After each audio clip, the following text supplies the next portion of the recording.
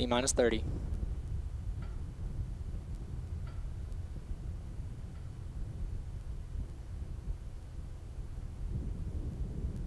T minus 20. Falcon 9 secured flight pressures.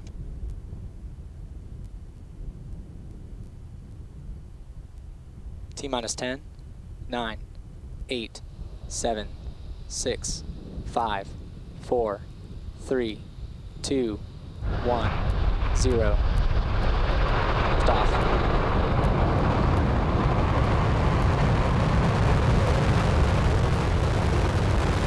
Falcon 9 is clear to towers. GC move to section 10.59 to secure the pad. Stage 1 propulsion is nominal.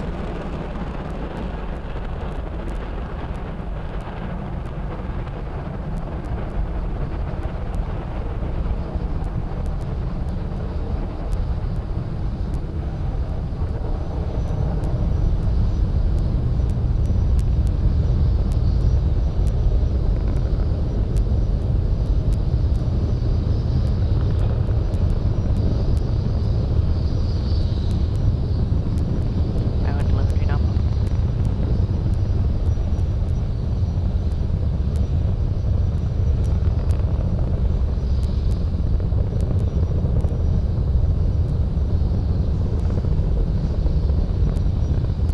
And Falcon 9 is on its way to delivering the Dragon spacecraft to the International Space course, Station for its eighth commercial resupply services mission. We are about to cross through max Q. It's maximum aerodynamic pressure. It's one of the highest stress states on the rocket.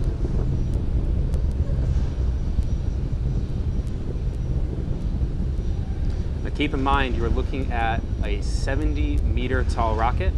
About the equivalent of a 25 story building going to space.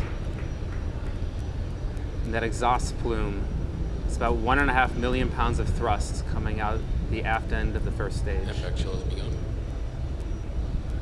Power telemetry nominal. You just heard them say that the MVAC chill has begun. That's where we've started to chill down our second stage engine, getting ready for ignition right after separation.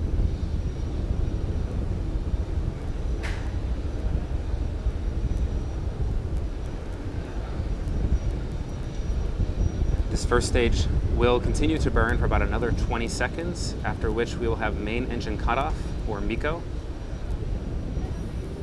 About three seconds after that, we will separate from our first stage, and then the second stage ignition will follow shortly thereafter.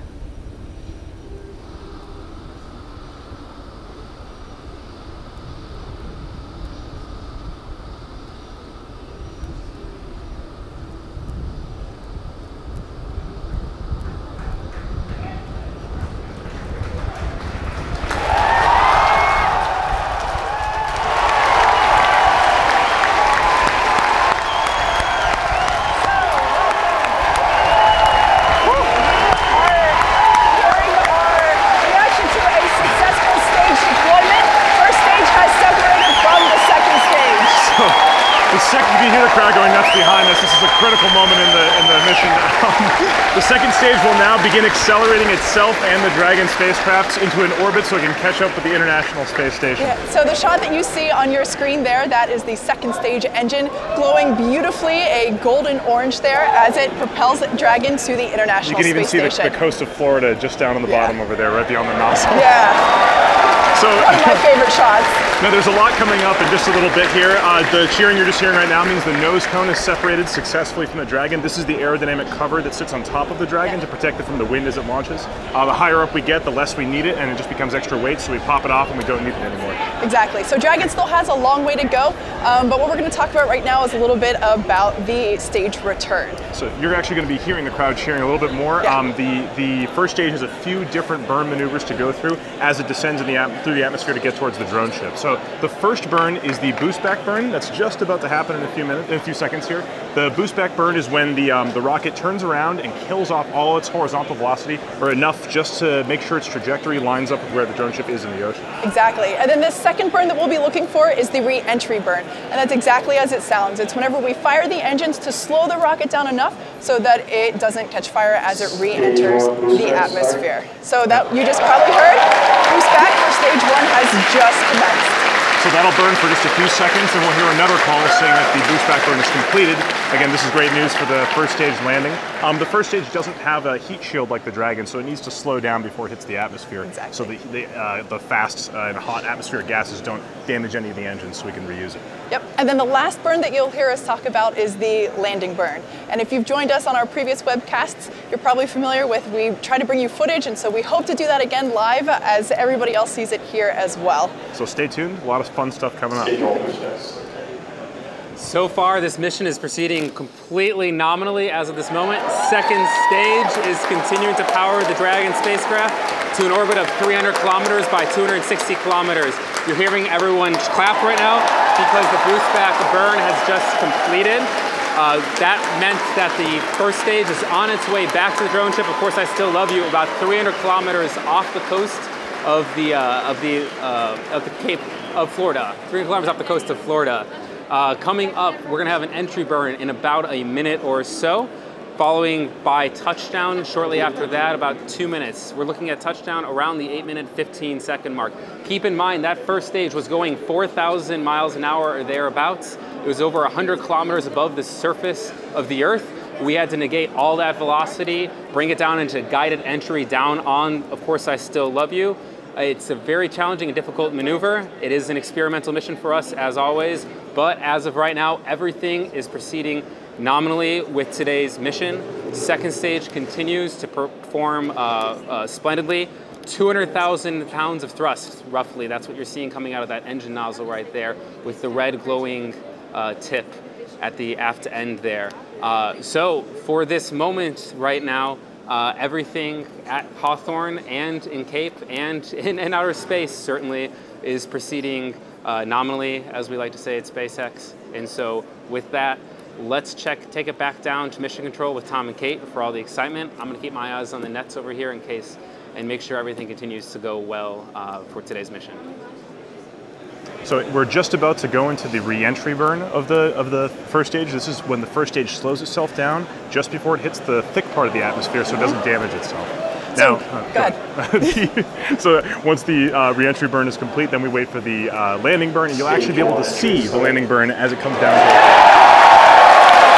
and that means So what you're hearing now is the crowd reacting to confirmation that the re-entry burn has begun. You can see we're all super excited. Just a reminder, the primary mission to delivering Dragon is still nominal, still going well, but we are expecting our first stage to come back down and land on Of Course I Still Love You, located in the Atlantic Ocean. And we do hope to bring you video. Uh, now, it, there's a chance it may cut out, but we're pretty confident we'll be able to get some good video of the landing today. Now, uh, just to reiterate, um, even if it's not a completely successful landing, every little bit of data counts. This is an Exactly. experiment. It's not related to the main uh, objective of today's mission, which is to get the Dragon to the International Space Station. Absolutely. So the data is the most important part about landing these, uh, the first stages back on the drone ship. So like we said before, if it ends in a beautiful ball of fire on our platform, that is okay. We're still going to learn a lot from it. So keep standing by here. We'll get you some video really, really soon. Um, sounds like stage one is going through its transonic phase through the atmosphere. It means it's heading right down towards that Yeah. drone ship. Uh, this, we're on track for hopefully a great landing right now.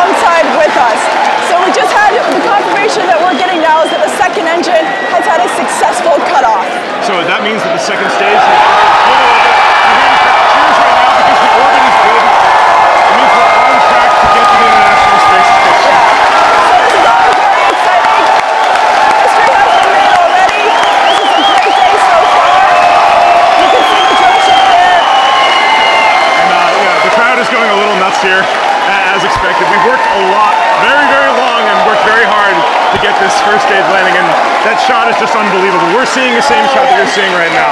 My face hurts so much right now. I can't believe it. So just a reminder, uh, the Dragon has a few maneuvers coming up to get to the International Space Station. You'll probably hear more cheers as those things are checked off. Um, so the we're gonna have uh, we're gonna have a, um, a solar array deploy and then get close to the ISS. Uh, let's go to JFED and get a status update. So you just saw right there the first stage successfully touched down, sailing on the drone ship right there. That is an amazing sight to see. Meanwhile, we are in a good orbit. Dragon is in a good orbit, getting ready for uh, deployment. Should just happen. Hopefully, we'll have some video footage uh, for you in a few moments of uh, the Dragon separating from the second stage. Uh, but right now, keep your eye on that amazing shot of our of our first stage standing on the drone ship right now. Uh, solar arrays for Dragon uh, successfully uh, deployed. I have confirmation of that. Uh, solar arrays should be uh, separating and deploying shortly thereafter, and we will have uh, be generating power in a few moments from there.